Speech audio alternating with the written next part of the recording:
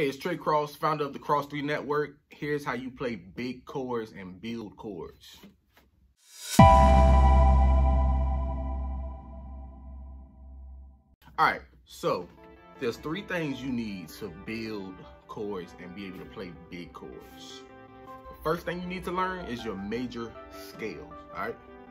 So there are 12 major scales, um, there are 12 notes, and every note has its own major scale. Learn your major scales first, okay? Second thing you need to do is learn your chord qualities.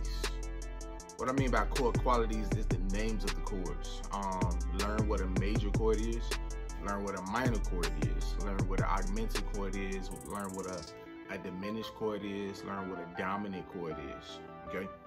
So learn your chord qualities. Second thing you need to do is you need to learn your chord quantities. That's the number behind the chord.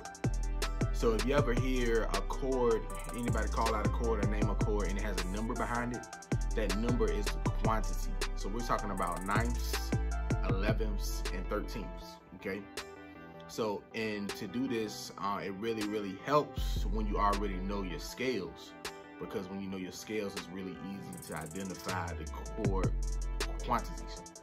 So, um, learn your scales, learn your chord qualities, which is the names of the chords, and learn your chord quantities, which is typically um, when you, are talking about extended uh, extended chords, we're talking about nine, ninths, elevenths, and thirteenths.